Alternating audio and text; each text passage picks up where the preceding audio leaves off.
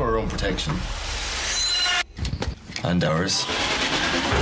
真实灵异事件改编。You think you're scared?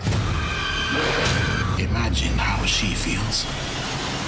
今年最惊悚实境体验。But inside of me.